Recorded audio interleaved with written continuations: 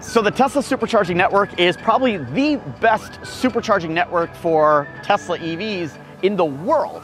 But of course, possibly Tesla's biggest advantage is its supercharging network, which includes over 35,000 fast charging stations and is the largest global fast charging network in the world.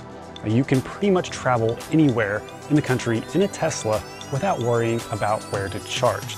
And the newest V3 superchargers can charge at a rate up to 1,000 miles an hour. And since all Tesla owners have a Tesla account with a credit card on file, the act of supercharging is extremely easy. Just plug in the cable and that's it. No swiping your credit card or touching screens.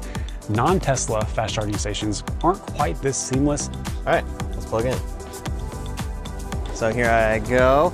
Should just pop up open when I press the button. Yep, there we go and it's automatically going to charge my account. I didn't have to swipe a card, I didn't have to do anything because it knows this is my car.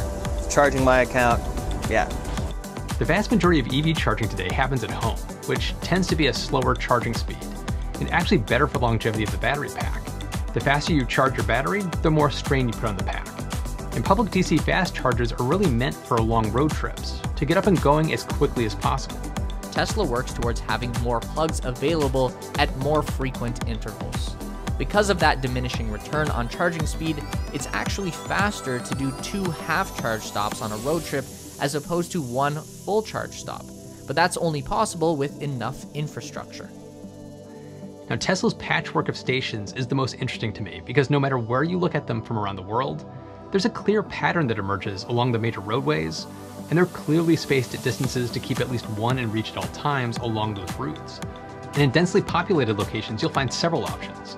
They aren't absolutely everywhere yet. I mean, for instance, they just turned on the Trans-Canada route at the end of last year. If you break down the stats by major networks across North America, you have Tesla in the lead with 888 stations, followed up with ChargePoint and EVgo virtually tied for second place and then Electrify America rounding out the top networks with 459 stations and 2,034 fast chargers. If it's not a Tesla in the US, you are stuck with Electrify America, EVgo, or other networks that are not really reliable. In order to road trip in these cars, these are the available charging options, so they bring down the quality of the product if they do not work. In any case, Tesla of course has superchargers that are incredibly reliable and continually expanding. They just hit 40,000 chargers globally. So I think, however small or large you think Tesla's mode is right now, they're currently working on a massive expansion to get even further ahead, and even if they open up some version of the network to third parties, at least in Europe, that will solidify Tesla's long-term dominance as other automakers will be dependent on Tesla's network. That moat is simply going to expand even further when full self-driving eventually comes into play. One thing I would say is the supercharger units are really visible at night and that's a big deal for EVs when I'm not in a Tesla, I'm in a normal EV and I'm looking for public charging points, most of them aren't well illuminated. You come into a car park, you're sniffling around the perimeter for ages in the dark.